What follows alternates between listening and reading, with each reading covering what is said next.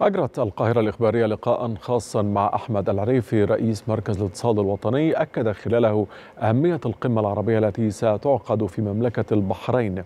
وأوضح العريفي أن قمة البحرين سيكون لها انعكاسات على تعزيز العمل العربي المشترك.